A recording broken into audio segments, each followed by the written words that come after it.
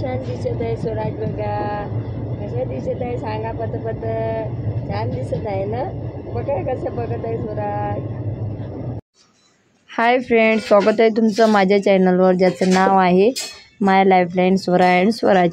तर स्वराजचं पहिली ड्रायविंग ट्रॅव्हलिंग म्हटलं तर चालीन रेल्वेची ही. तर ज्या दिवशी आम्ही पुण्याला गेलो होतो तर त्या दिवसचा हा ह्या क्लिप्स आहेत. आणि ते मला तुमच्यासोबत शेअर करावंसं वाटलं. आणि भरपूर जणांना स्वराजच्या ॲक्टिव्हिटी भरपूर आवडतात. आणि कमेंट्स असतात की स्वराजचे व्हिडिओ रोज क्लिप शेअर करा. तर इथं बघा स्वराज मस्तपैकी रेल्वेमध्ये गेला होता. आणि आम्ही खिडकीजवळ बसलेलो होतो. तर स्वराज असा मस्तपैकी एन्जॉय करत होता. आणि स्वराजला आता नाटकं करायला खूप आवडतं. जेव्हा आपण त्याच्याकडे कॅमेरा दाखवला तेव्हा तो ॲक्टिव्हिटी करत नाही आणि जेव्हा आपण त्याच्या नकळत शूटिंग जर केली तर तो ॲक्टिव्हिटी व्यवस्थित करतो. म्हणजे त्यालासुद्धा कळतं आता की आपण स्टार झालेलो आहो आणि आपल्याला कॅमेऱ्याकडे पाहून मुवमेंट करायची आहे. आणि असे त्याचे नाटकं तिथं चालू होते. आणि येऊन जाऊन येऊन जाऊन खिडकीकडे बघत होता. आणि क विशेष म्हणजे तेव्हा स्वराजला बरं पण नव्हतं.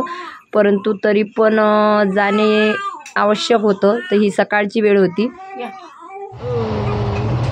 स्वराज जात आहे गावाला अरे रे चला पुढं चला.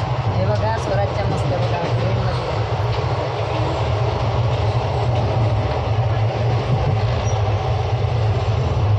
स्वराज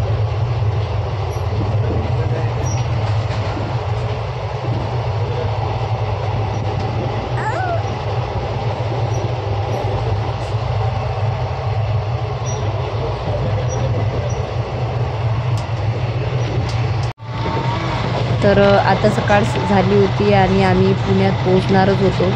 तर स्वराज असा उठल्यानंतर सकाळी सकाळी खेळत होता.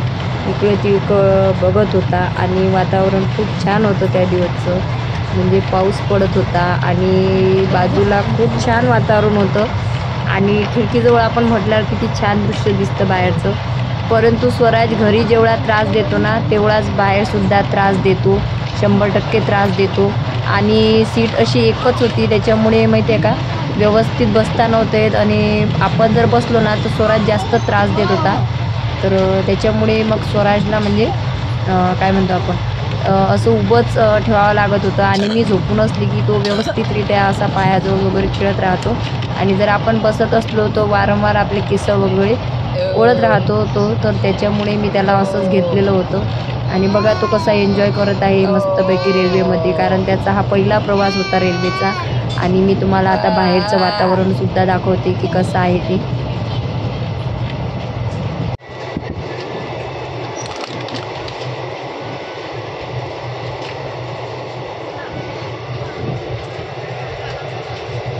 तर मस्तपैकी बाहेरचं वातावरण खूप छान होतं. आणि सकाळ झालेली होती आणि स्वराजीचं दूध वगैरे पीत होता. किती छान वातावरण आहे बाहेरचं बघू शकता तुम्ही. बघा आम्ही आहोत ट्रेनमध्ये. आणि स्वराजचं काहीतरी रिकामे धंदे चालूच असतात. चूप बसत नाही अजिबात. बाहेरचं वातावरण बघा. शेती. स्वराज अरे उठलं ना. झोपला स्वराज.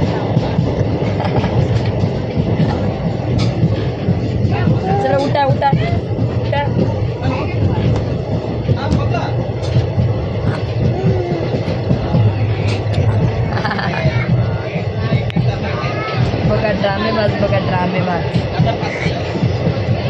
ड्रामेबाज बघा ड्रामेबाज आमचा.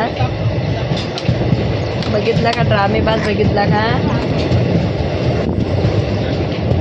कसा आहे ड्रामेबाज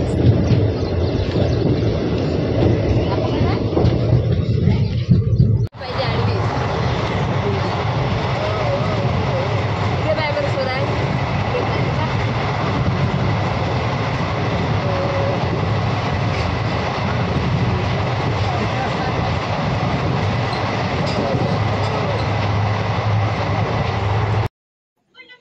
तर असं स्वराजचा खेळणं चालू होतं.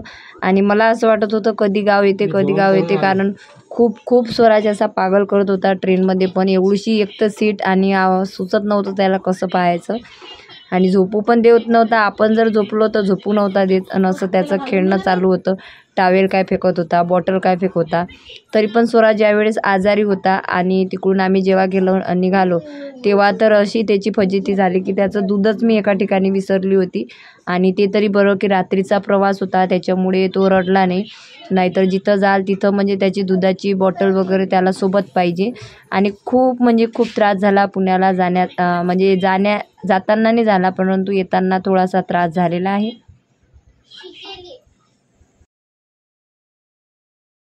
तर हाय आता आम्ही निघालेली आहे म्हणजे मला घरी जायचं आहे. आणि थोड्या वेळानं माझी ट्रेन आहे आणि जे काही तिथं झालं ते तुम्ही लाईव्हवर बघितलेलंच आहे. आता पुष्कळ जणांना असं वाटत होतं की आम्ही एका महिलेवर अन्याय अत्याचार केला परंतु चार महिने आमच्यावर काय बितली ना हे आम्हाला माहिती आहे. आणि तुम्हाला पण जे ज्यांनी व्हिडिओ त्या बाईचे पाहिले होते त्यांनासुद्धा माहिती आहे की आम्हाला कोणत्या दर्जेनं खाली लेवलवर ट्रोल करण्यात आला. आताही तुम्हाला सांगते मला ताप आहे सर्दी माझा आवाज तुम्हाला ऐकू येत असणार आहे. जस्ट मी आता पॅरासिटेमॉल ही गोळी घेणार आहे कारण म्हणजे मला चक्कर आणि कसं तरी होत आहे. आणि स्वराजी बघा झोपलेला आहे हे बघा. त्यालासुद्धा ताप आहे तुमच्या माहितीसाठी दाखवते. हा की आम्हाला एवढं लहान लहान बाळ घेऊन एवढ्या दूर यावं लागलं हे बघा. हे मेडिकल स्वराजचं आहे. हा काल मी त्याला हॉस्पिटलमध्ये नेलं आणि इकडं आणलं. म्हणजे आमच्या तब्येता खराब जर झाल्या असतील ना तर बारामतीकर विजयामुळे झाले होते तिच्या ट्रोलिंगमुळे. आणि कसं पुराव्याशिवाय कोणीही कोणाला बोलत नाही. आणि ज आणि आम्ही जो व्हिडिओ टाकेन त्याच्यात स्वतः विजयाने कबूल केलेला आहे की मी यांना किती मानसिक त्रास दिलेला आहे म्हणून. त्याच्यामुळे तिने तिचा गुन्हा माफ केला जे काही सजा दे दिली आम्ही ते तिला मान्य आहे. आणि ते याच्यामुळे दिली आम्ही लाईव्हवर सर्वांसमोर की याच्या याच्यानंतर कोणीही कोणाला ट्रोल करताना दहा वेळा त्याने विचार केला पाहिजे. ठीक आहे? तर आता माझी ट्रेन आहे मी निघणार आहे. फक्त तुम्हाला सांगायचं होतं की कोणत्या परिस्थितीत आम्ही इथपर्यंत आलेलो आता मी हे गोडी वगैरे घेऊन मला रात्रीचा प्रवास करावा लागणार आहे. तर तुम्ही विचार करा एवढंसं बाळ घेऊन ते आजारी बाळ घेऊन कमी जास्त झालं तर माझे सासरकडचे सोडणार आहे का मला? हा तुम्ही हा विचार करत नाही फक्त तुम्ही लाईव्हवर असं केलं तसं केलं. आता तुम्हाला जे समजायचं आहे तुम्ही ते समजू शकता. परंतु ट्रोल करणाऱ्यांना हे दाखवून द्यायचं होतं की ट्रोल करणारा कितीही ट्रोल केलं तर एक ना एक दिवस पापाचा घडा भरतो आणि तो घडा फोडायला कोणी ना कोणी येतो. लक्षात असू द्या.